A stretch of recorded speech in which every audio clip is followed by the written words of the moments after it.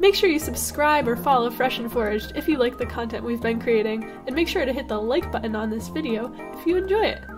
And with that, let's get foraging. But before we start, I'd like to mention a free gift that I have for y'all. I've created a detailed three page guide to my favorite foraging tools and resources. There's something for foragers of all levels. Just sign up for my newsletter at freshandforaged.com and I'll get that guide right over to you. Hope you enjoy!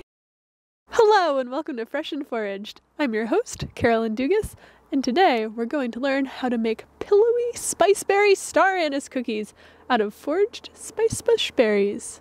These cookies are pleasantly spiced with a soft and pillowy texture, which contrasts nicely with the optional chopped pecans.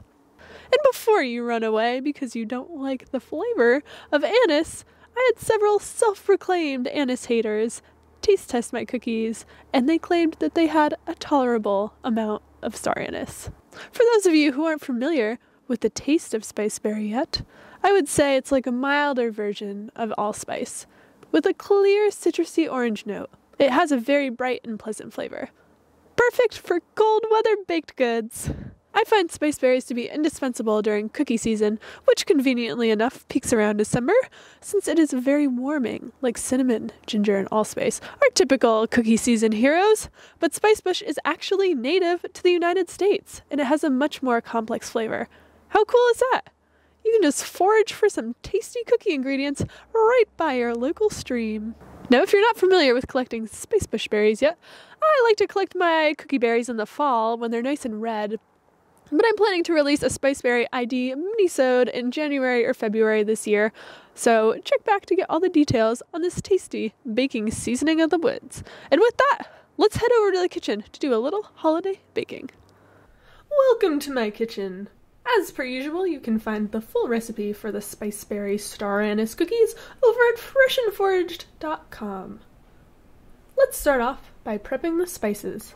Pull some fresh frozen spiceberries out of your freezer and pop them into a coffee grinder. This is one of my favorite foraging tools. You can find more about how I like to use it in that foraging guide I mentioned earlier that you get for free by signing up for my newsletter. But for these spiceberries, just put them in there, grind them up as finely as you can. It's going to be a wet paste since they are fresh frozen, but as long as there are no large chunks, it should be okay. You'll need 3 quarter teaspoon of gently packed wet spiceberry paste for these cookies. Now while you've got the spice grinder out, why not powder a little star anise? Throw a few pods in, grind them up till they're a fine powder, and then measure out 1 teaspoon for the cookies. Now that the spices are prepped, Let's mix the dry ingredients together.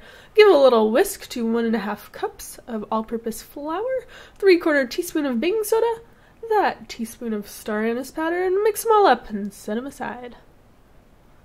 Now it's time to bust out the old stand mixer.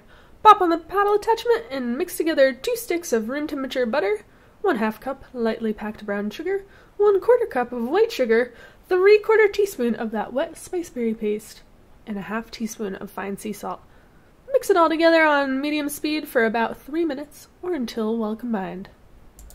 Scrape down any batter that's crept up the sides of the bowls and toss in 1 egg, 2 tablespoons plus 1 teaspoon of pure maple syrup, and beat for about 2 more minutes or until everything is incorporated. Scrape down the sides once again, then add the dry ingredients all at once, and slowly, very slowly, on the slowest speed, Mix them all together until there are no longer any visible traces of flour.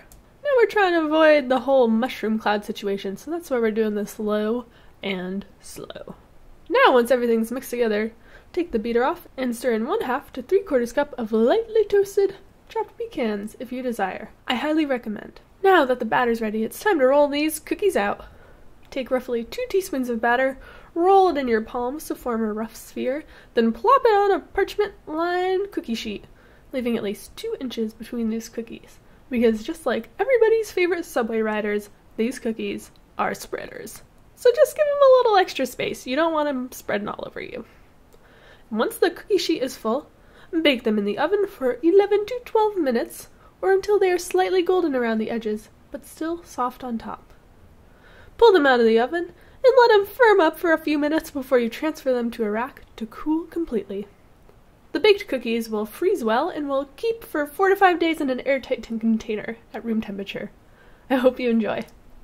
Thanks for tuning into this episode, and let me know in the comments if you're a fan of the Spiceberry star anise situation or if you'd rather stick to more traditional cookies. If you don't, there's a pine cookie recipe coming out real soon. Impress your friends and lovers with these cookies made out of actual tree parts. Coming to a social media platform near you this December. If you've enjoyed this video, please like and subscribe for more flavorful foraging content featuring abundant and invasive plants. Also, sign up for the newsletter. Happy foraging, y'all.